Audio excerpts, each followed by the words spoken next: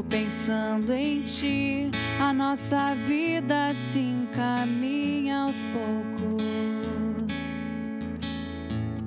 A saudade sufoca cada vez mais. A sala da avó continua cheia.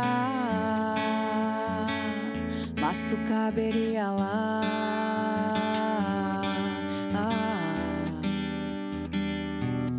Caberia lá.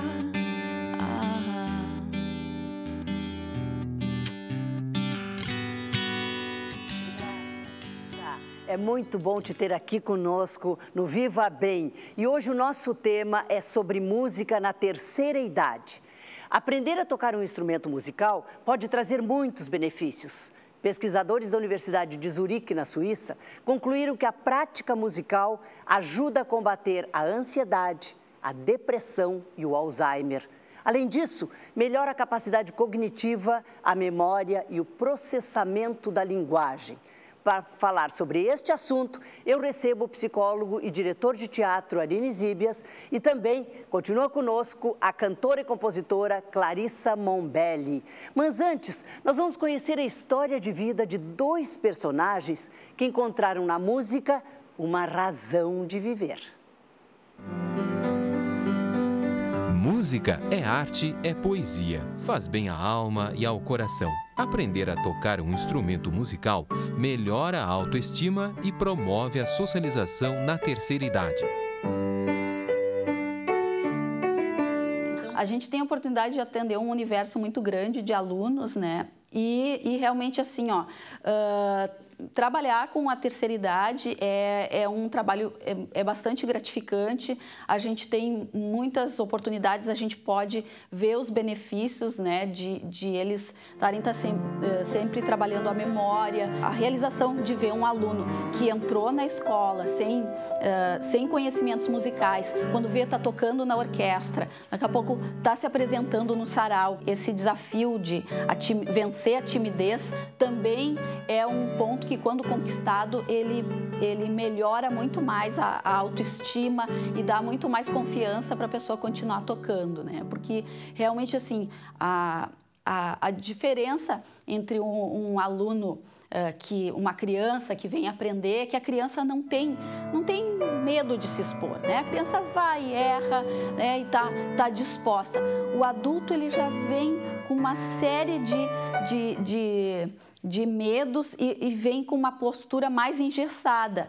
Mas o próprio ambiente musical faz com que esse aluno ele vá aos poucos percebendo esse, esse, esse cotidiano musical, ele uh, vencendo os desafios. A leitura de partitura é uma coisa maravilhosa porque faz com que de repente a pessoa se veja lendo e uh, expressando uma nova linguagem. Quer dizer que ela pode aprender inglês, francês, mas ela está lendo uma partitura, conseguindo tocar através daquela partitura, exercendo essa nova linguagem, isso é um, é um desafio muito bonito e é encarado pelos adultos e terceira idade com uma, uma, uma disposição muito maior, a gente vê.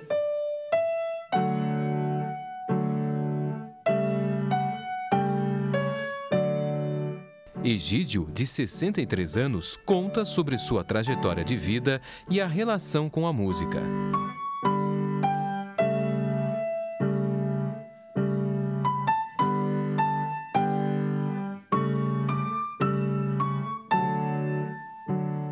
Eu nasci no interior de Garibaldi, sou descendente de italianos, campesino, onde meus pais eram pobres, eram agricultores com poucas terras e eu sempre gostei de ouvir tocar e sempre quis aprender a tocar música, um instrumento. O meu primo tocava violão. Na, na época se comemorava Santos Reis, que iam de casa, de casa em casa tocar. De manhã tocavam o violão e cantavam, né? E eu sempre admirei muito isso. Vim para a cidade, vim para Montenegro estudei, me dediquei aos estudos, me formei na Unicinos em Direito, depois vim a Porto Alegre. Comecei minha vida trabalhando numa instituição bancária e me dediquei bastante aos estudos, ao trabalho. Sempre tive pouco tempo para me dedicar aos prazeres da vida, que é a música até que então decidi aprender a tocar um instrumento, comecei pelo violino. Escolhi a estação musical, onde eu obtive bons resultados e meu objetivo é uma realização pessoal.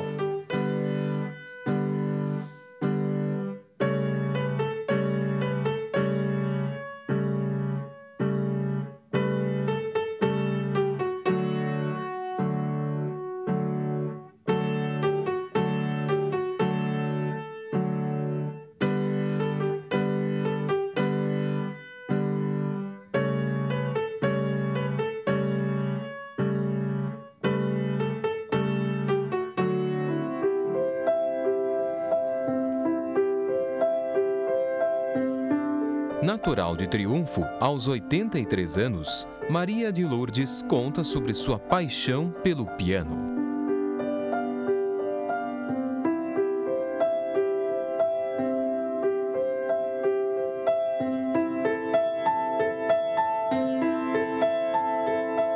Desde cedo eu tive uma inclinação muito grande pelo piano, mas era uma coisa tão inacessível porque eu morava no interior então não tinha, não tinha como realizar aquele desejo. Até porque meus pais eram pobres e não podiam financiar um estudo dessa, dessa natureza, né? Eu, mas o primeiro instrumento que eu tive, eu ganhei do meu tio, porque eu tirei primeiro lugar na escola, foi um violão. E aí eu aprendi esse violão. E toquei muitos anos e cantava junto. Eu tocava o violão e cantava. Depois, quando fiquei mais mocinha, fui cantando em casamentos, passou tudo isso aí. E eu cheguei a Porto Alegre, retornei a Porto Alegre depois de muito tempo, porque eu estava no interior, morava em Alegrete com meu marido, e voltamos, voltei a Porto Alegre. Então, eu pude uh, realizar esse sonho, porque aí eu encontrei a estação musical, eu digo, agora que eu vou tocar o piano, eu vou realizar o meu sonho, que era tocar piano. Desde criança, desde 5, 6, 7 anos, quando eu tocava violão, eu já tinha vontade de tocar piano. Aí eu comecei a estudar, mas foi assim, muito... Né? Eu estudo há bastante tempo, né? mas uh, eu tinha assim muito receio, sempre tive muita, muita timidez, nunca pude me apresentar muito em público, essas coisas todas, mas eu gostei muito de tocar, por várias razões. Em primeiro lugar, porque eu realizei meu grande sonho, quero tocar piano. Me parecia até uma mentira que eu estava tocando piano. Aquilo era para mim um sonho que eu estava, tinha realizado, né? Depois, por quê? Porque aquilo me dava uma alegria muito grande de viver. E depois, porque se vamos olhar os benefícios, a nossa cabeça tem que funcionar. A gente tem que decorar aquelas, aquelas peças, tem que decorar aquelas notinhas todas, tem que visualizar tudo aquilo no cérebro. Então, isso aí é uma coisa muito importante para que a cabeça da gente fique sempre ativa. Isso é muito importante na velhice. Eu digo assim, por, por experiência própria, que a música é um grande incentivo para que uma velhice seja assim, mais feliz, mais, uma velhice mais desenvolvida.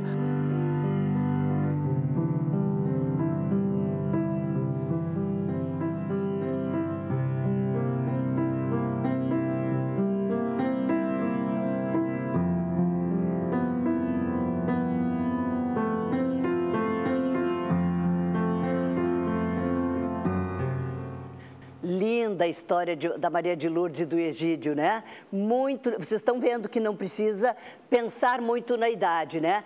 É, essa conexão que eles nos trouxeram de emoção muito boa, mas vocês sabem que vocês também têm uma conexão direta com a gente através do nosso e-mail, vivabem@tve.com.br e também pode nos encontrar lá no facebook.com/programa Viva Bem. A gente adora atender vocês, hein?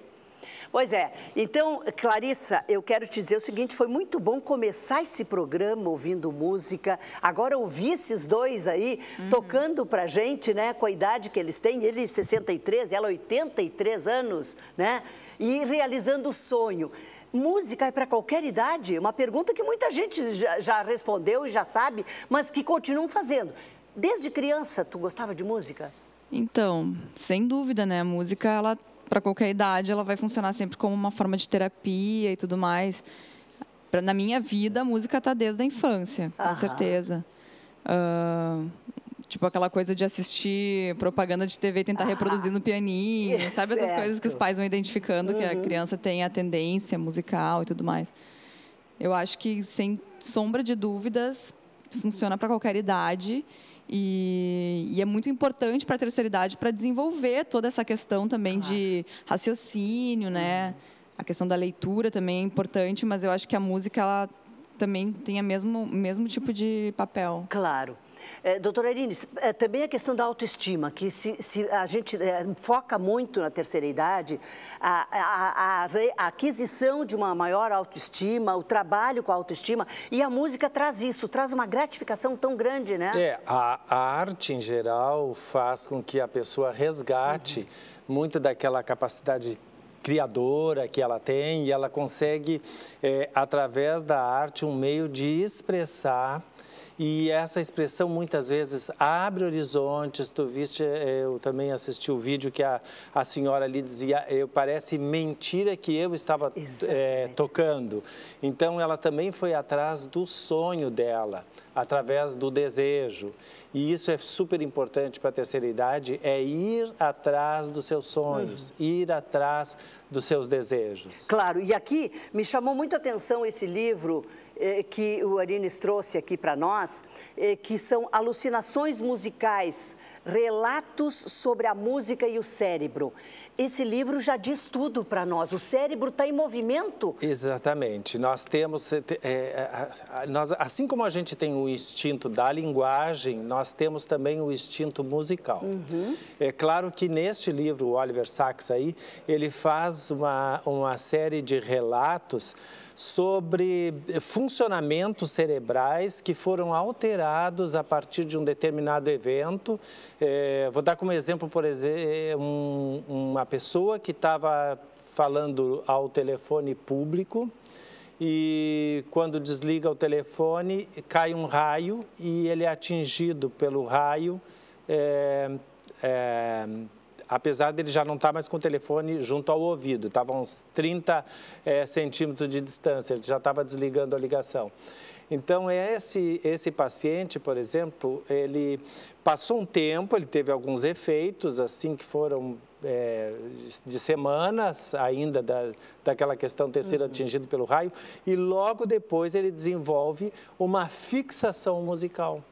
Então, ele, apesar de nunca ter... A partir desse evento a partir de nunca ter é, estudado música antes, ele passa a se interessar por piano, depois ele passa a tocar piano, ele aprende sozinho, ele termina dando até concertos, é, esse é um relato verídico. Uhum. É, e ele, tanto que quando ele conta a história dele, muitas pessoas da plateia dizem, ah, por que, que não cai um raio em mim também?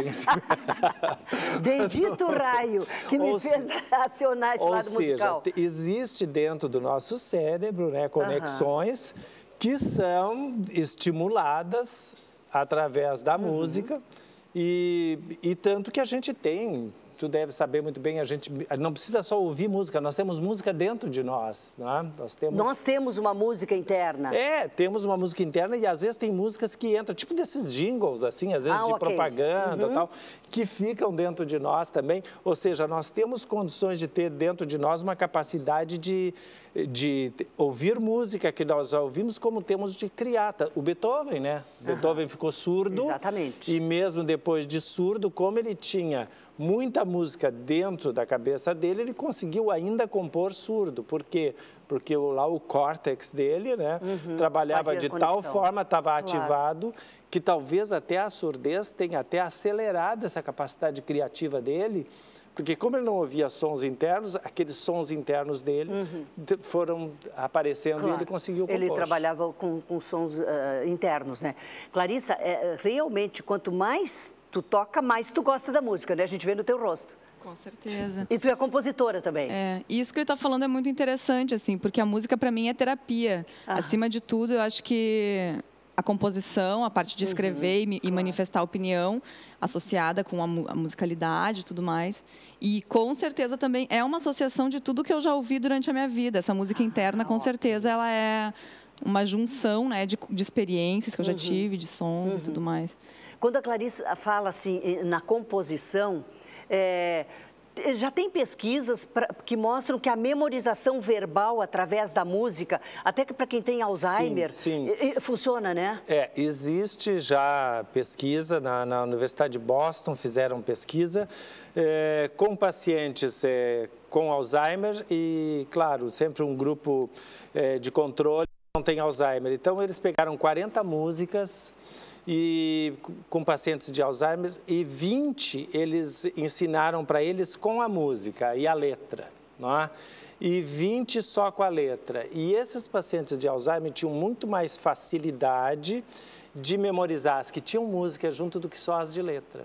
Claro que isso não, essa pesquisa não uhum. trouxe assim benefícios em termos dele memorizar outros fatos. Sim, mas é uma comprovação. Mas com a música, a memorização a música, da, da, letra Ou vinha seja, mais fácil. Nós temos um funcionamento cerebral, uhum. tanto que existe até uma. Se, se existe uma lesão no, no, no numa parte do nosso cérebro, nós temos uma, uma característica que se chama amusia, que é a característica que a pessoa que está com aquela parte lesada, ela depois não produz mais música, não consegue mais produzir música, que se chama amusia.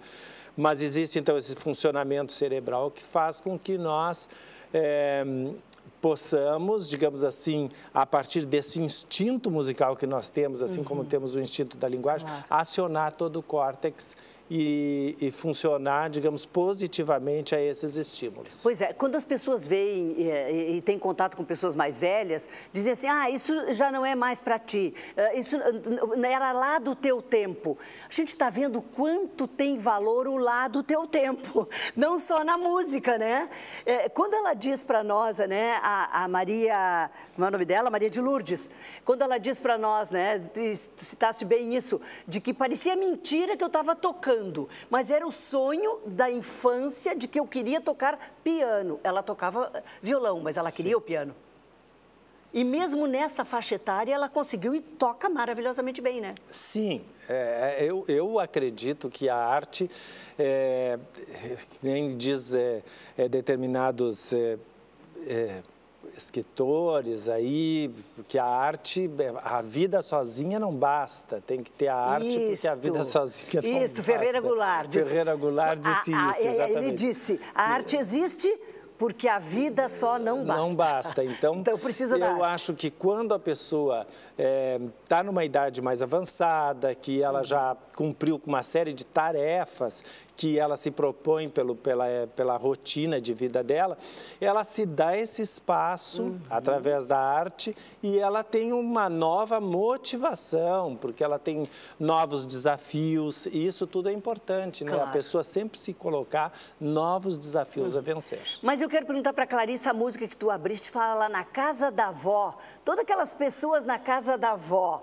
Fala um pouquinho para nós dessa, é uma lembrança tua? É, na verdade, essa música ela foi feita através de um. No Facebook, eu li um Aham. texto de uma menina que na verdade ela estava falando sobre a irmã dela e a saudade que ela sentia da irmã.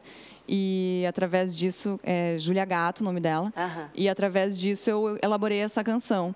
E o mais impressionante é que, embora a música não fale exatamente da casa da minha avó, ela acaba falando sobre a casa de cada avó, de cada pessoa. Todas as avós. É, é impressionante assim o quanto essa música, essa, essa palavra casa da avó remete, né, para lembranças e, e pra- Todo mundo tem no seu imaginário, mesmo quem não teve a sua avó perto, que muitos de nós não tiveram avó perto, mas tem lembrança de outras vozes que a gente viu, a voz dos amigos, né? Voz de, de, outros parentes, né? Eu tenho a sorte de ter tido uma avó que era muito musical também. Olha, então tu é beneficiada. é, ela tocava gaita. E aonde ela estiver, ela tá verdade, batendo palma pra ti, hein? Pode ter certeza. Na verdade, eu só vi ela tocar uma música a vida inteira, mas ela se divertia com aquilo, sabe? Então eu, eu vejo quanto a música para ela era importante. Ela também tinha o sonho de infância de tocar piano, e daí, como ela não sabia, ela fazia com que todos os netos fizessem aula de piano. Ela, ela tinha o sonho que um dos netos realizasse através por dos ela. netos, claro. É, esse sonho de tocar piano. Daí eu acabei parando no violão, mas eu tenho um primo que toca muito bem piano também. Claro.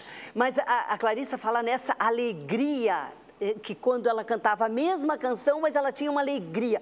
Arines, eu quero pegar aqui eh, essa, essa visão assim, dessa alegria que o idoso precisa na sua vida e dessa forma de expressão, que a forma de expressão musical pode trazer segurança para outras formas de expressão também, É, né? a alegria é fundamental porque é o instinto de vida, né? Porque, segundo Freud, já nós nascemos com instinto de vida e instinto de morte. O instinto de morte ele vai trabalhando sozinho, né? Porque a gente nasceu e está pronto para morrer. Né? A gente só vai caminhando até morrer depois que nasce. Então, o instinto de morte nos acompanha sempre. E o instinto de vida é o que faz com que a gente sobreviva, exatamente, não é? que a gente não se entregue.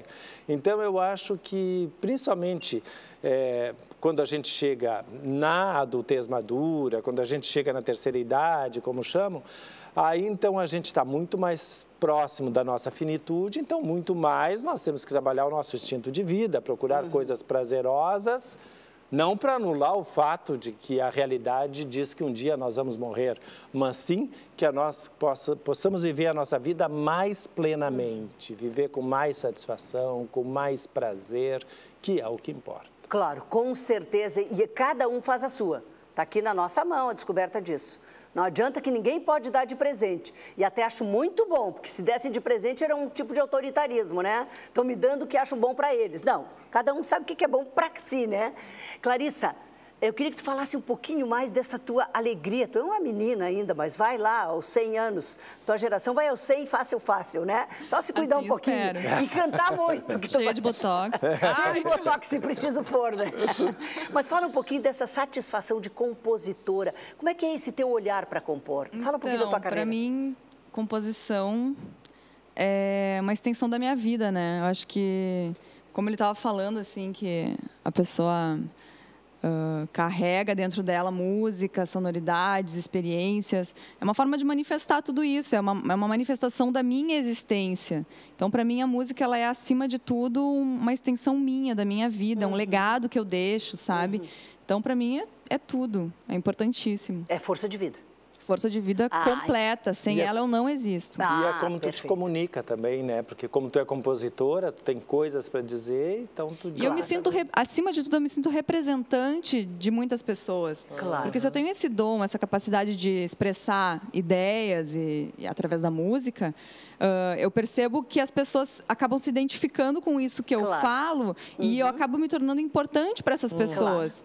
Porque Claro. elas, através da minha música, se realizam de certa Claro. forma. Bom, a gente podia continuar aqui mais um programa, né? Não, mas nós temos horário, então o nosso tempo terminou. Queria agradecer muito para vocês a presença. Daqui a mão, a Clarissa, só dá, dá rapidinho a mão para ela ali, que agora a Clarissa vai terminar o programa com música pra gente. Vai lá, Clarissa. Viva bem, porque a gente merece, não é?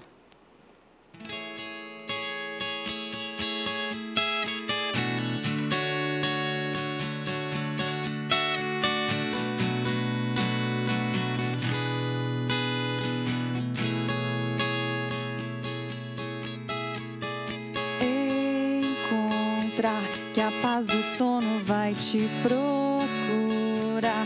Por mais que eu tente, eu não entendo.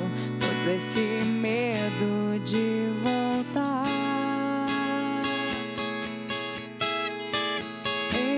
Encontrar que o mundo novo te faz mergulhar. Por mais que eu tente, eu me detenho. E nesses passos vão refazendo.